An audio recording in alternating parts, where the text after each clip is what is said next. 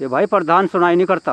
अच्छा। हाँ जब कब प्रधानी के वोट चाह थे हाँ। जब तो वादा करा था कह लगा सबसे पहले लेंगे सबसे पहले यही काम होगा हम्म, किसी का नहीं होने का। फिर किसी की सुनाई नहीं करी। गरीब आदमी जहाँ है फिर उन्हें वापसी भेज दिया। वहाँ से मिलता भी नहीं टाइम पे।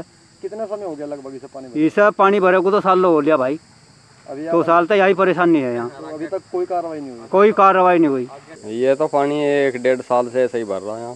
तो इसकी शिकायत की? शिकायत कई बार प्रधान से कर ली वो कुछ सुनवाई नहीं करता। हम्म। अच्छा जिस तरीके से यहाँ पानी भर रहा है गलियों में किस तरीके की परेशानी हो रही है? बस आना जाना दूसरी गलियों से करते हैं लोग। हाँ।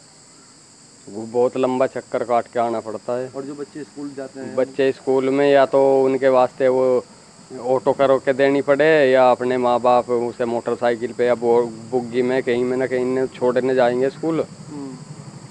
तो ये काफ़ी परेशानी बन रही है, जिस तरीके तो आज तक इसमें कोई कार्रवाई हुई ना जी, इसमें कुछ नहीं हुआ।